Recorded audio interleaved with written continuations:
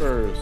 ფლორიდის კონგრესმა მიიღო კანონი, რომლითაც სკოლაში პედაგოგებს იარაღის ტარების უფლება ეძლევათ.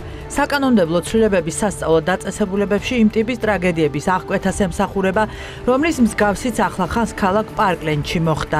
19 წლის ახალგაზრდა შურისძიების მიზნით თავის ყოფილ სკოლაში 17 ადამიანი მოკლა. შტატის საკანონმდებლო ორგანო მიარაღის შეძენის ასაკის გაზრდასაც დაუჭირა მხარი.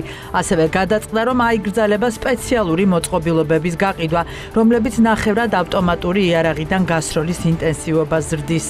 Thank the House and Senate for voting in favor of protecting our children. ჩვენ მადლობას ვუხდით შტატის კონგრესის ორივე პალატას, რომ ისინი ცდილობენ ჩვენი შვილები დაიცვან, მაგრამ ამ მიმართულებით კიდევ ბევრი რამ არის გასაკეთებელი. ჩვენ დღესაც ისევე უნდა გავერთიანდეთ, როგორც ტრაგედიის დღეებში ვიდექით ერთად. მინდა რომ მე უკანასკნელი მამა ვიყო, ვისაც შვილი მოუკლეს.